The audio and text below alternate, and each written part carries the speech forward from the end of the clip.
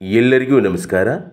ಏಳನೇ ತರಗತಿಯ ಸಮಾಜ ವಿಜ್ಞಾನ ಪರಿಷ್ಕೃತ ಎರಡು ಸಾವಿರ ಇಪ್ಪತ್ತ್ನಾಲ್ಕು ಭೂಗೋಳಶಾಸ್ತ್ರ ವಿಭಾಗದ ಅಧ್ಯಾಯ ಆಸ್ಟ್ರೇಲಿಯಾ. ಆಸ್ಟ್ರೇಲಿಯಾ ಈ ಅಧ್ಯಾಯದ ಅಭ್ಯಾಸದ ಪ್ರಶ್ನೋತ್ತರಗಳನ್ನು ಈ ವಿಡಿಯೋದಲ್ಲಿ ನೋಡೋಣ. ಮೊದಲಿನ ವಿಡಿಯೋಗಳು ನಿಮಗೆ ಬೇಕಂದರೆ ಡಿಸ್ಕ್ರಿಪ್ಷನ್ ಬಾಕ್ಸಲ್ಲಿ ಲಿಂಕ್ ಇರುತ್ತೆ, ನೋಡ್ಬೋದು. ಮೊದಲ ಮುಖ್ಯ ಪ್ರಶ್ನೆ, ಖಾಲಿ ಬಿಟ್ಟ ಸ್ಥಳಗಳನ್ನು ಸೂಕ್ತ ಪದದಿಂದ ಭರ್ತಿ ಮಾಡಿ.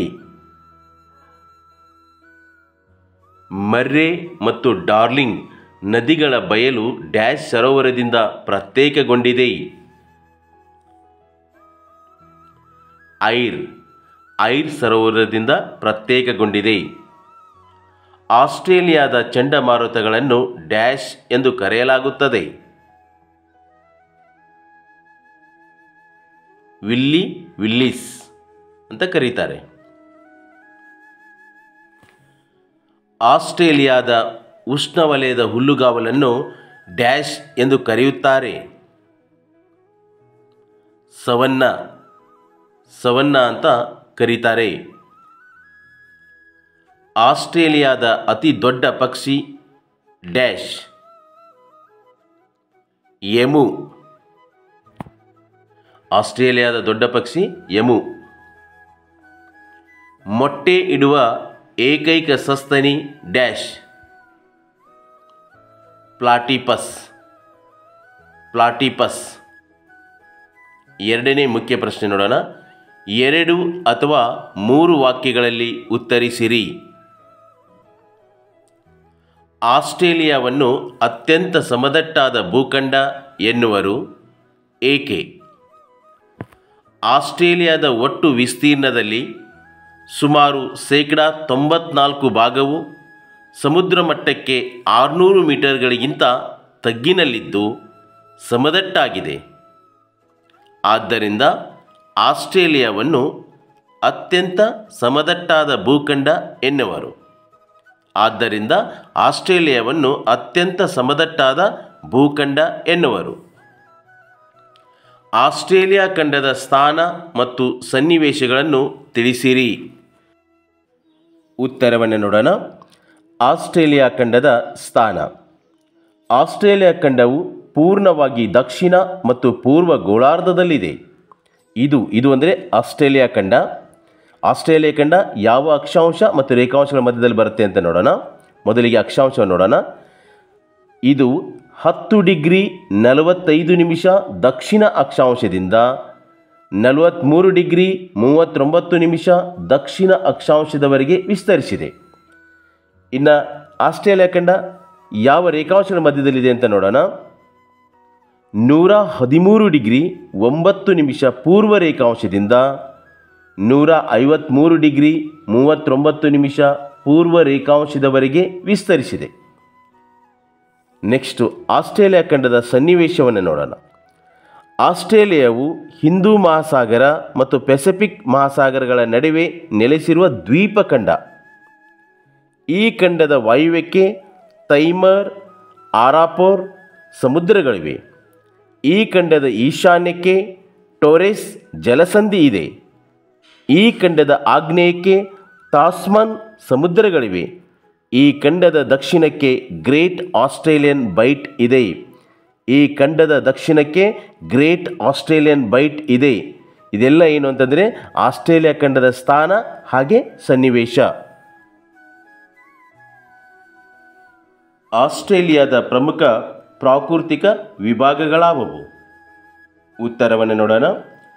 ಆಸ್ಟ್ರೇಲಿಯಾದ ಪ್ರಮುಖ ಪ್ರಾಕೃತಿಕ ವಿಭಾಗಗಳು ಪೂರ್ವದ ಉನ್ನತ ಪ್ರದೇಶ, ಮಧ್ಯದ ತಗ್ಗು ಮೈದಾನ, ಪಶ್ಚಿಮದ ಪ್ರಸ್ಥಭೂಮಿ ಪಶ್ಚಿಮದ ಪ್ರಸ್ಥಭೂಮಿ. ಆಸ್ಟ್ರೇಲಿಯಾದ ನದಿ ವ್ಯವಸ್ಥೆ ಕುರಿತು ತಿಳಿಸಿರಿ. ನದಿ ವ್ಯವಸ್ಥೆ ಕಡಿಮೆ ಇದ್ದರೂ ಅವುಗಳಲ್ಲಿ ಹಲವು ಚಿಕ್ಕವು ಮತ್ತು ಅಕಾಲಿಕ ನದಿಗಳು. ಸಮುದ್ರ ಸೇರುವ ನದಿಗಳಿಗಿಂತ ಸರೋವರಗಳಿಗೆ ಸೇರುವ ಒಳನಾಡಿನ ನದಿಗಳೇ ಹೆಚ್ಚು. ಬಹಳಷ್ಟು ನದಿಗಳು ಪರ್ವತದ ಉನ್ನತ ಪ್ರದೇಶಗಳಲ್ಲಿ ಉಗಮ ಹೊಂದಿ ಪೂರ್ವದೆಡೆಗೆ ಹರಿಯುತ್ತವೆ. ಮರ್ರೆ ಆಸ್ಟ್ರೇಲಿಯಾದ ಅತಿ ಪ್ರಮುಖವಾದ ನದಿ.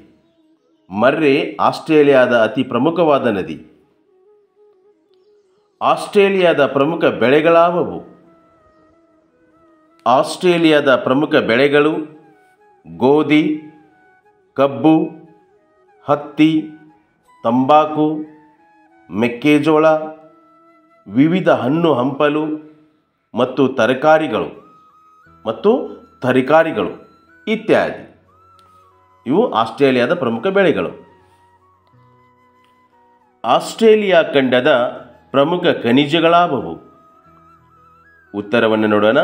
ಆಸ್ಟ್ರೇಲಿಯಾ ಖಂಡದ ಪ್ರಮುಖ ಖನಿಜಗಳು ಕಬ್ಬಿಣದ ಅದಿರು, ಬಾಕ್ಸೈಟ್, ಸತು, ನಿಕ್ಕಲ್, ತಾಮ್ರ, ಮ್ಯಾಗ್ನೀಸ್, ಚಿನ್ನ, ತವರ, ಸೀಸ ಮತ್ತು ಯುರೇನಿಯಂ ಇತ್ಯಾದಿ. ಆಸ್ಟ್ರೇಲಿಯಾದ ಪ್ರಮುಖ ಕೈಗಾರಿಕೆಗಳನ್ನು ತಿಳಿಸಿರಿ. ಉತ್ತರವನ್ನು ನೋಡೋಣ.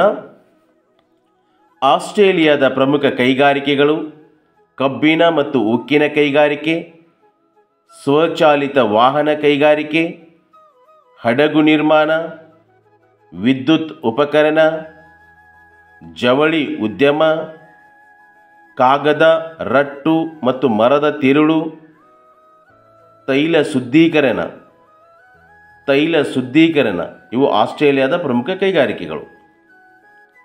ಆಸ್ಟ್ರೇಲಿಯಾದಿಂದ ರಫ್ತಾಗುವ ಪದಾರ್ಥಗಳನ್ನು ತಿಳಿಸಿರಿ. ಆಸ್ಟ್ರೇಲಿಯಾದಿಂದ ರಫ್ತಾಗುವ ಪದಾರ್ಥಗಳು ಕಬ್ಬಿಣದ ಅದಿರು, ಬಾಕ್ಸೈಟ್, ಯುರೇನಿಯಂ, ಗೋಧಿ, ಕಚ್ಚಾ ಉಣ್ಣೆ. ಕಚ್ಚಾ ಉಣ್ಣೆ ಇವೆಲ್ಲವೂ ಆಸ್ಟ್ರೇಲಿಯಾದಿಂದ ರಫ್ತಾಗುವ ಪದಾರ್ಥಗಳು. ಆಸ್ಟ್ರೇಲಿಯಾದಲ್ಲಿ ಜನಸಾಂದ್ರತೆ ವಿರಳಬೇಕೆ ಜನಸಾಂದ್ರತೆ ಅಂದರೆ ಒಂದು ಚದರ ಕಿಲೋಮೀಟರ್ನಲ್ಲಿ ವಾಸಿಸುವ ಜನರ ಸರಾಸರಿ ಸಂಖ್ಯೆಯನ್ನು ಜನಸಾಂದ್ರತೆ ಅಂತ ಕರೀತಾರೆ. ಯಾಕೆ ಕಡಿಮೆ ಇದೆ ಅಂತ ನೋಡೋಣ. ಆಸ್ಟ್ರೇಲಿಯಾವು ಮರುಭೂಮಿ ಮತ್ತು ಅರೆ ಮರುಭೂಮಿಗಳಿಂದ ಕೂಡಿರುವುದರಿಂದ ಇಲ್ಲಿ ಜನಸಾಂದ್ರತೆ ವಿರಳವಾಗಿದೆ. ಆಸ್ಟ್ರೇಲಿಯಾವು ಮರಭೂಮಿ ಮತ್ತು ಅರೆ ಮರುಭೂಮಿಗಳಿಂದ ಕೂಡಿರುವುದರಿಂದ ಇಲ್ಲಿ ಜನಸಾಂದ್ರತೆ ವಿರಳವಾಗಿದೆ. ನೆಕ್ಸ್ಟ್ ಹೋಗೋಣ. ಆಸ್ಟ್ರೇಲಿಯಾದ ಹುಲ್ಲುಗಾವಲುಗಳನ್ನು ಹೆಸರಿಸಿ. ಆಸ್ಟ್ರೇಲಿಯಾದ ಹುಲ್ಲುಗಾವಲುಗಳನ್ನು ಹೆಸರಿಸಿ. ಉತ್ತರವನ್ನು ನೋಡೋಣ. ಆಸ್ಟ್ರೇಲಿಯಾದ ಹುಲ್ಲುಗಾವಲುಗಳು ಉಷ್ಣವಲಯದ ಹುಲ್ಲುಗಾವಲು ಸವನ್ನ ಅಂತ ಕರೀತಾರೆ.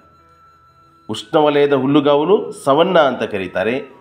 ಸಮಶೀತೋಷ್ಣ ವಲಯದ ಹುಲ್ಲುಗಾವಲು ಡೌನ್ಸ್. ಸಮಶೀತೋಷ್ಣ ವಲಯದ ಹುಲ್ಲುಗಾವಲು ಡೌನ್ಸ್. ಇವು ಆಸ್ಟ್ರೇಲಿಯಾದಲ್ಲಿ ಕಂಡುಬರ್ತಕ್ಕಂಥ ಹುಲ್ಲುಗಾವಲುಗಳು.